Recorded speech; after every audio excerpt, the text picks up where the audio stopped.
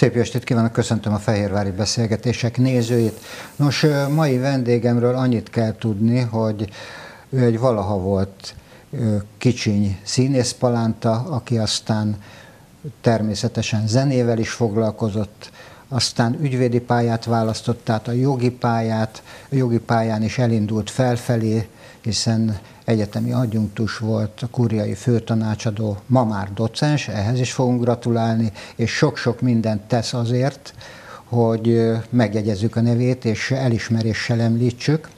Emellett pedig nemrégiben olvastam a Petőfi Zenei Díj, ez egy rangos elismerés esztendőről esztendőre Magyarországon, jelöltjei között szerepelt, Bérces Viktor, szervusz. Szervusztok, köszönöm szépen a meghívást. No, tehát a, a zenész karrieret párhuzamosan a jogi pályával, erről kell, hogy beszéljünk.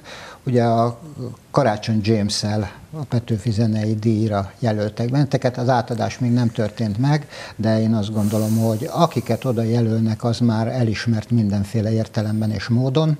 És ha ehhez hozzátesszük, hogy egy újabb megtiszteltetésért, tehát az, a szakmai pályafutásodnak egy újabb lépcsőfoka az egyetemi docens kinevezés. De akkor kezdjük talán az elején, hiszen én azt mondtam, hogy színész palánta voltál, azok közé tartoztál, akik már gyermekfővel belekóstolhattak a színpad csodájába.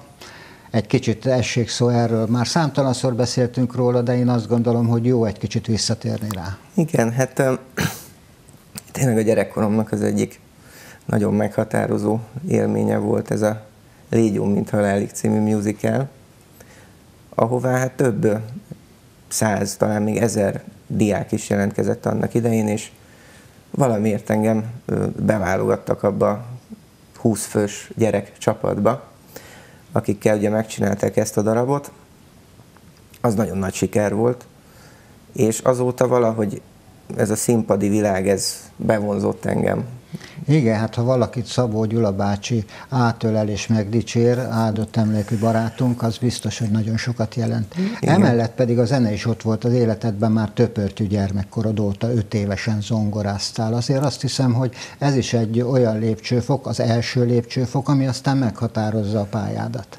Igen, hát az első zenekarom az a Mentol együttes volt, ez egy Székesfehérvár Rekedról banda volt, és ez úgy jött a képbe, hogy játszottam egy jogászbálon ahova apukám, ö, ö, hogy mondjam, szervezett oda, és akkor oda jött egy srác, nem titok, Szakonyi Balázs, és ő volt az, aki megkért engem, hogy menjek el hozzájuk billentyűzni, és hát onnantól kezdve gyakorlatilag folyamatosan jelen van ez a zenei dolog az életemben. Jöttek különböző zenekarok, de hát majd erről Így van. Beszélünk. És annak ellenére, hogy a jazz tanszék is vonzó lehetett számodra, hiszen a tehetségeket, tehetség arról ismerszik meg, hogy próbálja a tűrés határon belül kiteljesíteni önmagát. Igen. De hát ez így volt veled is. Te viszont tehát nyilvánvaló volt, hogy az, az apai ják, hiszen édesapát Bérces László a, a remek ügyvéd, barátunk, és a jogi pályát választottad. Ez mennyire volt tudatos döntés részedről, hogy,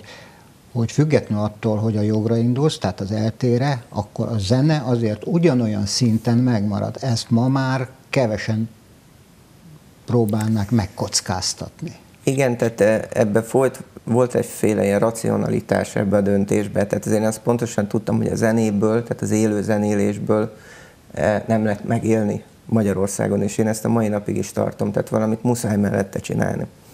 Viszont engem a jog az érdekelt is. Hát a mai napig is ugye könyveket írok, publikálok, tanítok az egyetemen, és azért engem ez legalább annyira érdekel, mint a zene. Viszont zene nélkül meg mit érek én? Ugye van ez a Máté Péter dal, tehát hogyha én nem tudnék elmenni pénteken vagy szombaton koncertezni, akkor hát nem igazán tudnám feltalálni magam, megmondom őszintén. Ugyanakkor a jogi pályád is jellemzi a kettősség, hiszen elkezdted, elindultál egy úton, és ma már sokkal inkább, hogy említetted, hogy publikálsz, ma már sokkal inkább a tanítás felé vitt az utat. Holott az üzleti jogi tanszéken végeztél, és az, én azt gondolom, hogy, hogy az óriási kihívás egy jogász embernek. Természetesen, de engem az elmélet ez mindig sokkal jobban érdekelt. Meg nekem nagyon fontos az, hogy a diákoknak fölkeltsem a az érdeklődését. Szeretem őket rávilágítani bizonyos jogi kérdésekre.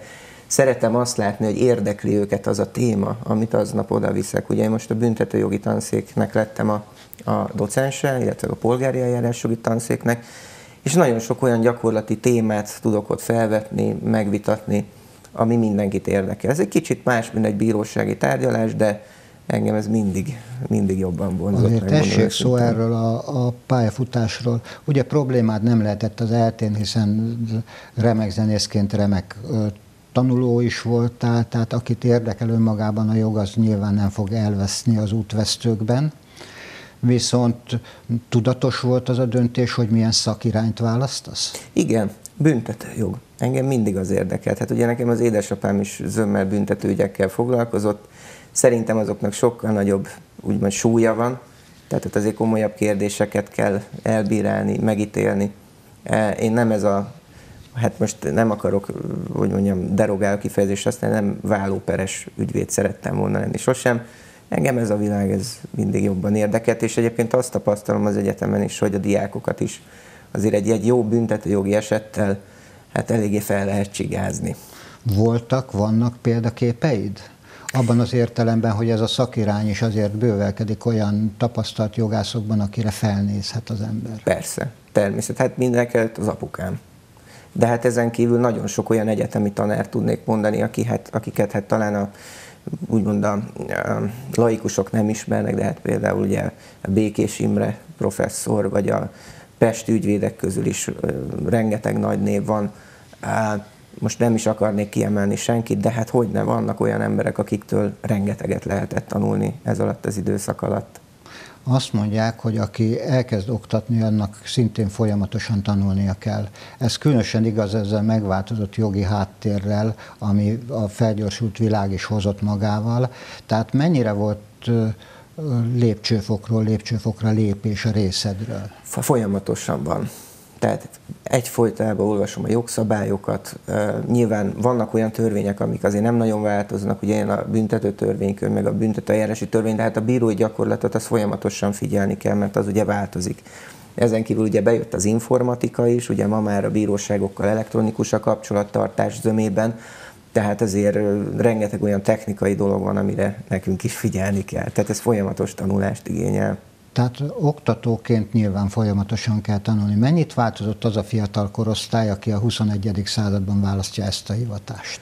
Ö, nagyon sokat változott, egészen más lett az érdeklődési körük, kevesebbet olvasnak tankönyvet, sokkal inkább az internetről irodalmaznak, minden felgyorsult, de ezt nyilván te is érzed zenében, tudományban, azonnal hozzáférhetőek az információk az internetről, ennél fogva azért a vizsgákon is sokkal ügyesebben tudnak visszaélni, például a helyzettel puskázások, és még sorolhatnám, nagyon sok módszer van, amit azért előszeretettel használnak, de hát nekünk meg az a feladatunk, hogy ezekre figyeljünk és tartsuk velük a lépést. Ugye a fejlődés már, mint a szakmai fejlődés tetten érhető a címekben is nyilvánvaló, hiszen elindultál az úton, és ma már docensként teljesítesz. Mi kell ehhez?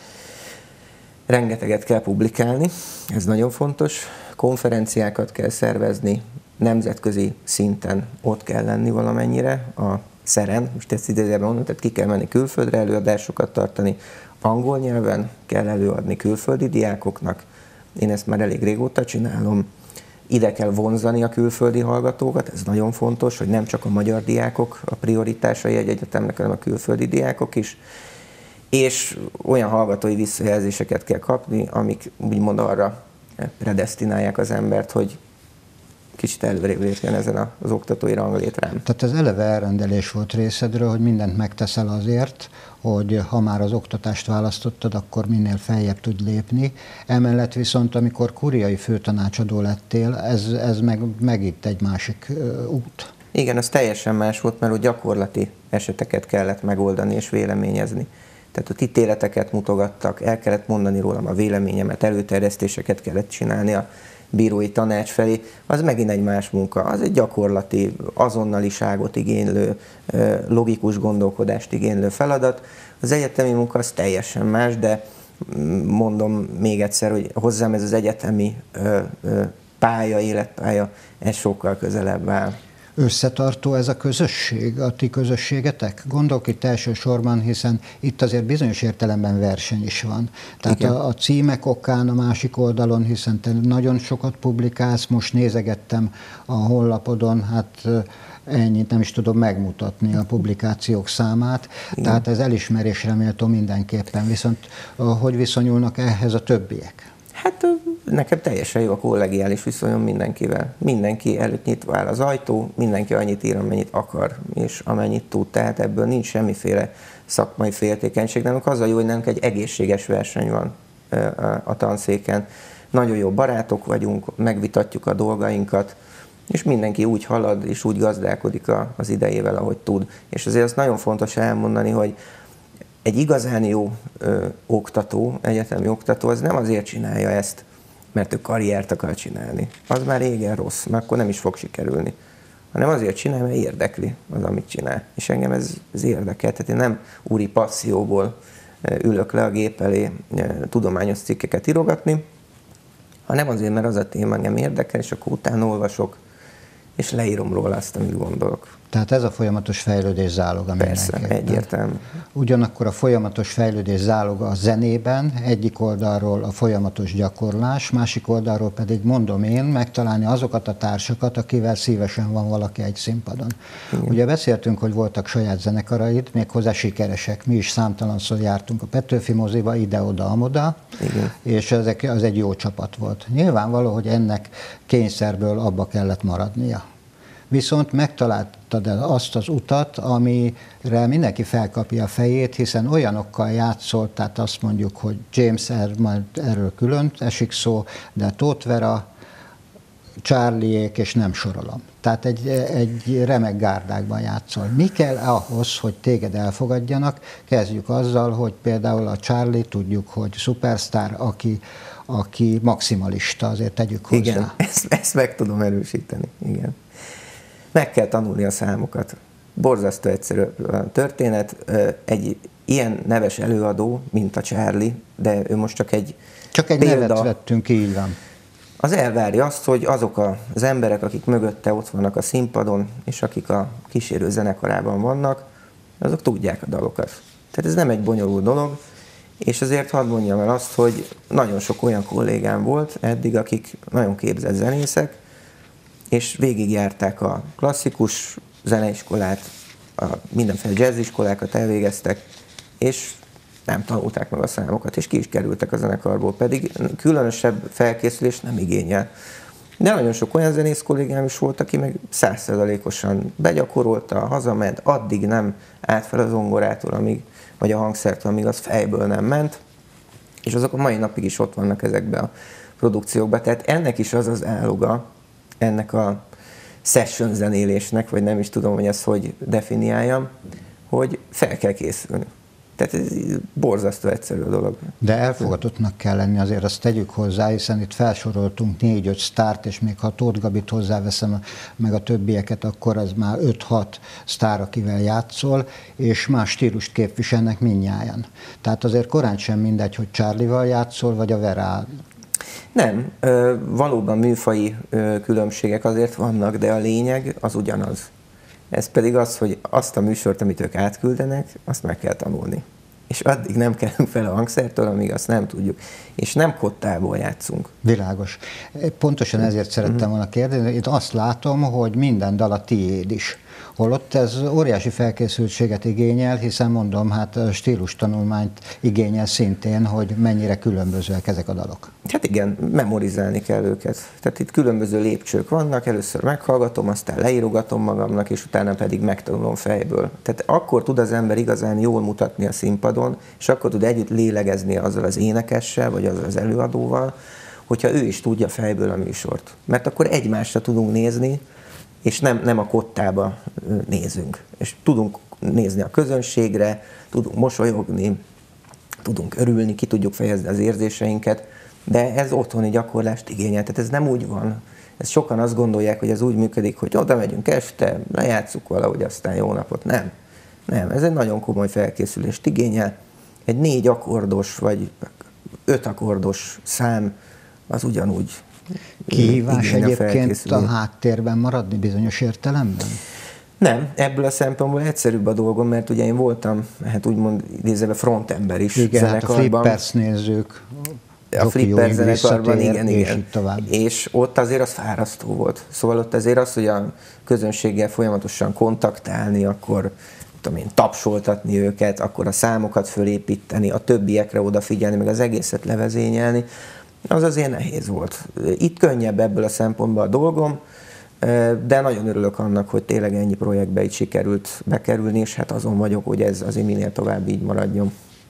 Jó, hát Tótveráról még annyit azért beszéljünk, hiszen lelked jobbik felével, mikor házasságot kötöttetek, hát ki más lehetett volna a tanú, mint Tótvera.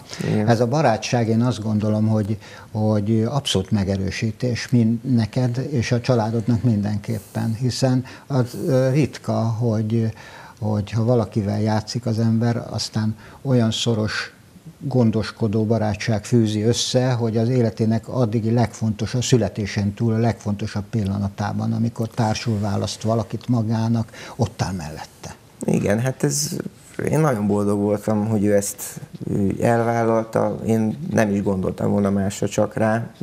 Mi nagyon jó barátok vagyunk most már.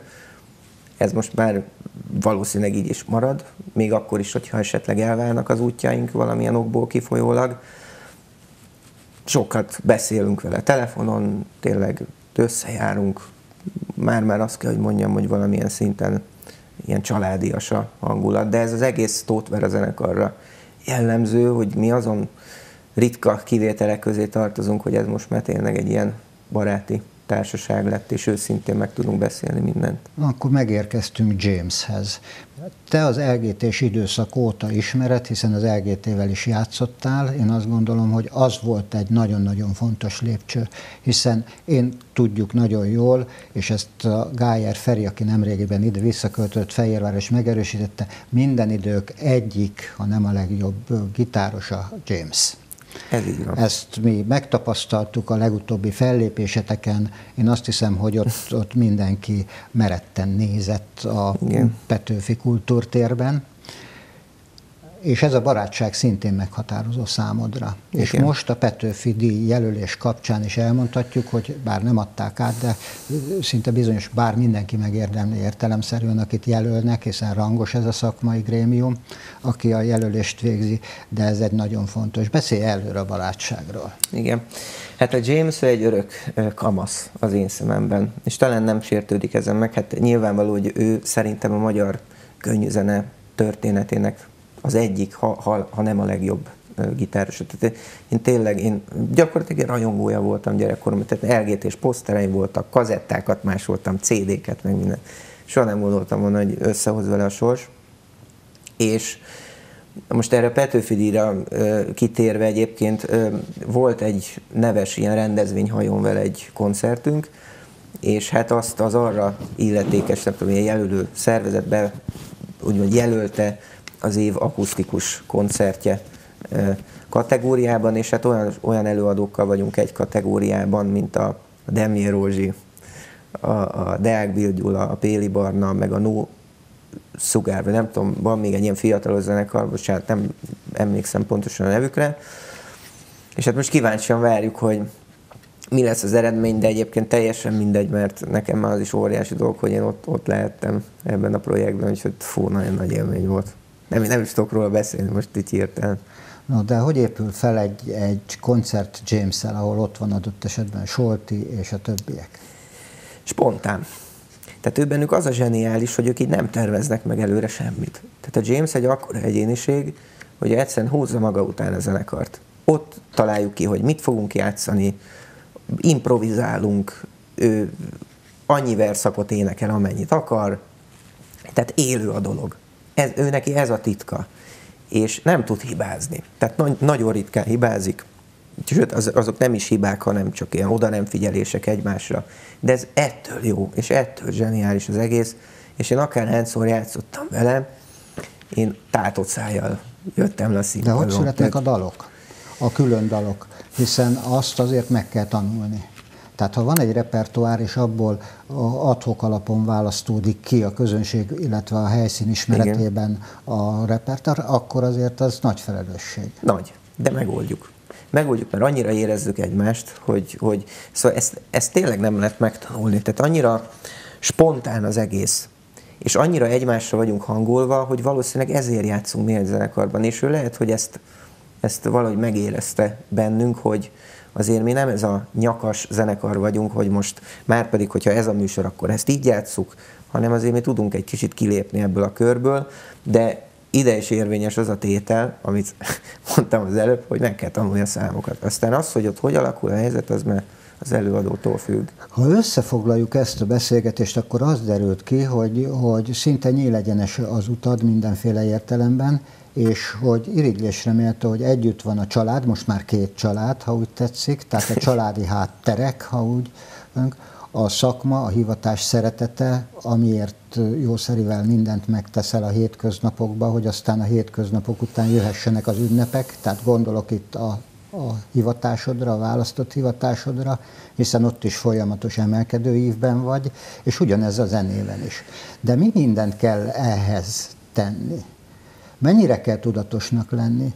El tudod-e választani a jogi pályát a zeneitől, illetve hát marad-e elég idő a családra, hogy olyan legyen, mint ahogy azt megálmodtatok, ahogy azt kimondtátok a templomban?